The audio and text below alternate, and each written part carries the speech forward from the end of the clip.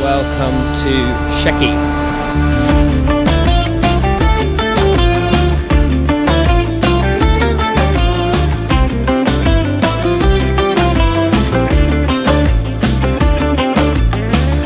I am here in Shamakhi. Um, so today, actually, I rented a car, um, and we're going to be exploring the other areas of Baku. So when everyone on my tour found out that I was actually going to be driving, um, they were all like, "Are you serious? You're driving here?" Um, so I was a bit nervous. It was absolutely fine. The roads here are beautiful. I'll probably do a separate video on driving in Azerbaijan for anyone who would consider driving here. But otherwise, yeah, we're here in Shamakhi um, at the mosque just as a stopover on our way to Ganja.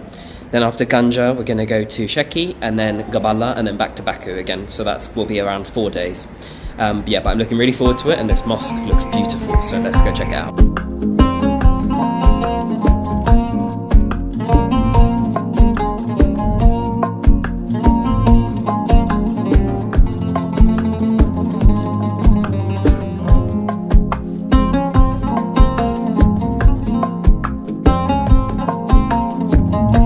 Guys, is beautiful. I'm on that minaret at the bottom. It says 2013, and on the other one it says 743. So I'm guessing it's got something to do with the years that this was built, rebuilt, probably destroyed.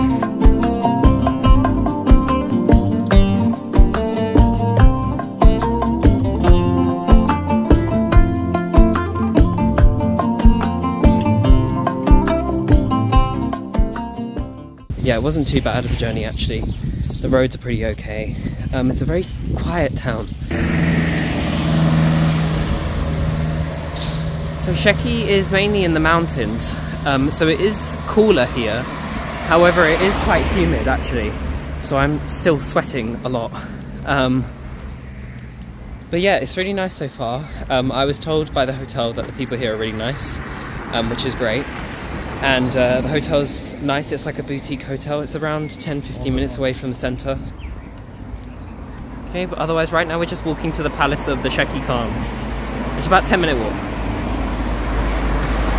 Yeah I'm, I'm shattered guys. FYI if you are staying anywhere not near the Caravanserai or Sheki Palace Hotel and you are not a young fit person unlike me then um, just take a taxi. Just just do it. I'm I'm like I'm so unfit.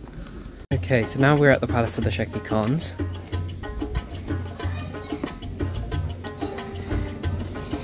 And I just went inside, but you're not actually allowed to record inside for some reason. Um, but it's actually a summer working house for the previous Sheki Khans, which obviously the city is named after, I'm presuming but yeah you're not allowed to film but it's got stained glass windows everywhere which when the sun shines through it kind of gives a, a colourful ray of light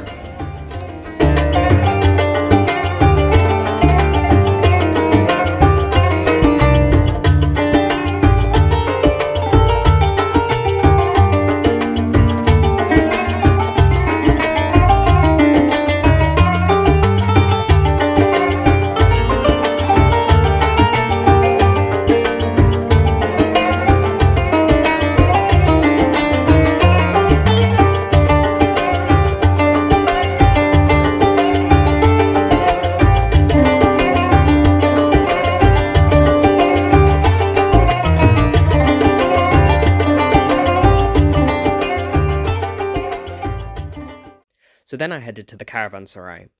And in Sheki, there are two caravanserais there's an upper and there's a lower.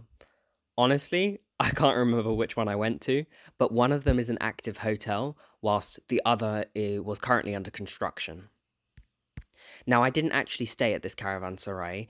However, I did stay at a caravanserai in Ganja, and I can't wait to share that with you guys because that was such an amazing experience. Now, historically, caravanserais were used by travelers on the Silk Road as a point to rest, feed themselves, but also to feed and rest their animals. And this one here in Sheki is one of the oldest in the country, so it was really, really amazing to see. I just showered, um, and even though I just showered, I've now sweated again because it's so hot. And we're going to be heading to the um, We're going to be heading to the Winter Palace now. Um, so it's like same Sheki Khan Palace, but this time it's the Winter Palace. The other one was a Summer Palace, and apparently was only kind of used for administration work, or, or was used for administration work. Um, so I don't actually know where we're going because the signs say one way, but the map says another. Um, but nevertheless, we'll roll with it. Um, yeah, it's just a really small place, and I think, and I'll give my kind of final impressions of Sheki at the end of the video. But one other thing is that if you wanted to stay here longer, you could also go to the city of Qakh, which is about an hour north of here. Um, and I've heard that's got some beautiful nature and it's just a very scenic place. Um, so if I were to come back, I would go to Qakh as well. Okay guys, so I am at the Sheki Khan Winter Palace this time.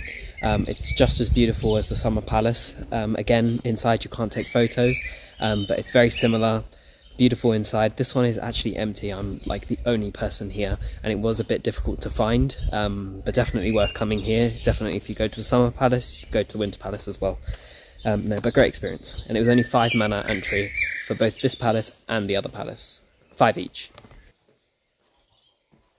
Now, the windows of both this palace and the other palace we went to are so beautiful, and they're actually a type of cultural heritage in Azerbaijan used since the 12th century called shabaka, which is basically coloured stained windows which are placed together with wood, and because of the geometry of the shapes that they make, it actually sticks and holds together without using any glue or nails, so it's a really, really impressive form of art.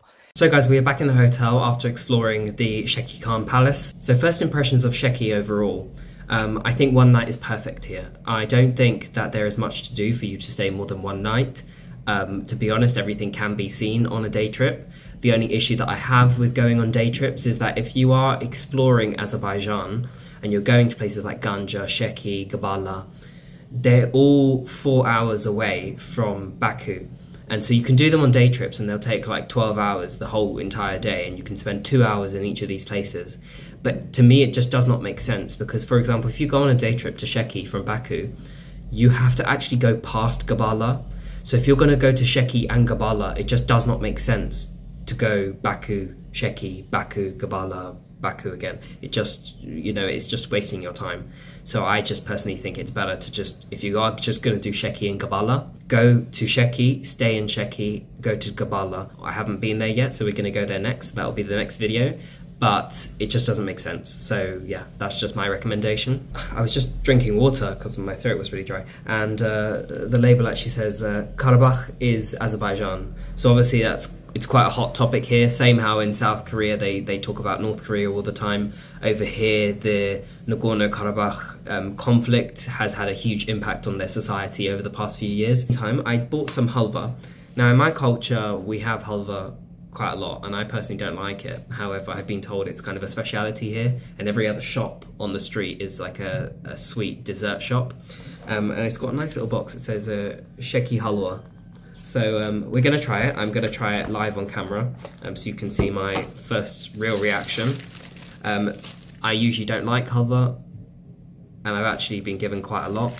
Um, so we'll see how it goes. It's very sticky. Okay, and it's got saffron on it, I think.